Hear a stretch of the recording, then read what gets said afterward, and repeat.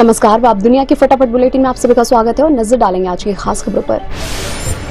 केरल के वायनाड ज़िले में भूस्खलन से तबाही, एक सौ छप्पन लोगों की मौत, सेना, एनडीआरएफ, अन्य बचाव कर्मियों ने दूसरे दिन तलाश अभियान शुरू किया, राज्य में दो दिन का राजकीय शोक। वायनाड में भूस्खलन प्रभावित इलाके में देवदूत बनी सेना अस्थायी पुल बनाकर बचाई एक हज़ार लोगों की जान, भारी बारिश और भूस्खलन की वजह से बह गया था खराब मौसम के चलते राहुल, प्रियंका का वायनाड प्रस्तावित दौरा स्थगित। दोनों बुधवार सुबह वायनाड रवाना होने वाले थे।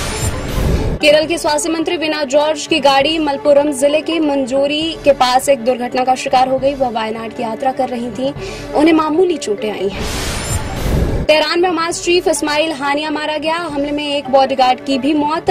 इसराइल पर उठे सवाल। ईरानी रेवोल्यूशनरी गार्ड ने की हानिया की मौत की पुष्टि। हमास ने दी बदला लेने की दिल्ली नगर निगम ने भवन उप नियमों का उल्लंघन करने वाले कोचिंग संस्थानों के 30 बेसमेंट सील किए 200 संस्थानों को नोटिस भेजा गया इमारत के बेसमेंट में पानी भरने से सिविल सेवा की तैयारी कर रहे तीन अभ्यर्थियों की मौत के बाद एमसीडी ने कार्रवाई की है। मजिस्ट्रेट जाँच में खुलासा, कोचिंग सेंटर के बेसमेंट और सड़क का जलस्तर एक ही था, जिससे वहाँ फंसे छात्रों को पानी से निकालने में समस्या आई।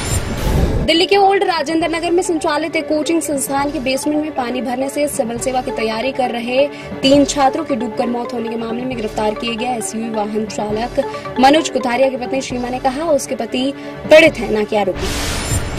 अयोध्या में राम मंदिर निर्माण स्थल पर मजदूरों का टोटा। राम मंदिर निर्माण समिति के अध्यक्ष निरुपेंद्र मिश्रा ने मंदिर का निर्माण कर रही कंपनी लॉर्सन एंड टूर्बो को तुरंत मजदूर बढ़ाने को कहा।